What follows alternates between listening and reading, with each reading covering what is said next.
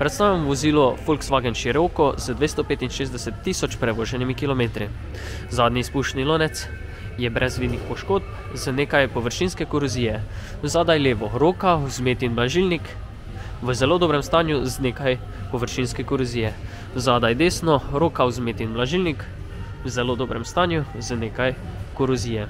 Rezervoar za gorivo je nepoškodovan. Zaščite podvozja na desni ter na levi strani so nepoškodovane.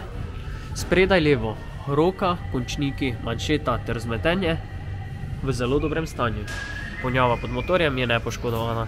In še spredaj desno roka, končniki, manšeta ter vzmetenje v zelo dobrem stanju. Odbijač spredaj ima na spodnji strani nekaj površinskih prask. Platišče spredaj levo ima ob robih nekaj prask. Pnevmatika je letos izdelave 2021 s petimi milimetri profila. Prag vozila ima na levi strani manjšo poškodbico.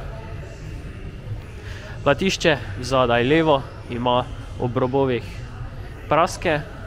Pnevmatika je letos izdelave 2021 s petimi milimetri profila. Odbijač zadaj ima nekaj površinskih poškodb. Platišče zadaj desno ima ob robovih poškodbe. Pnevmatika je letos izdelave 2021 s petimi milimetri profila.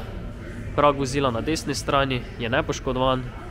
In še platišče spredaj desno ima ob robovih manjše poškodbe.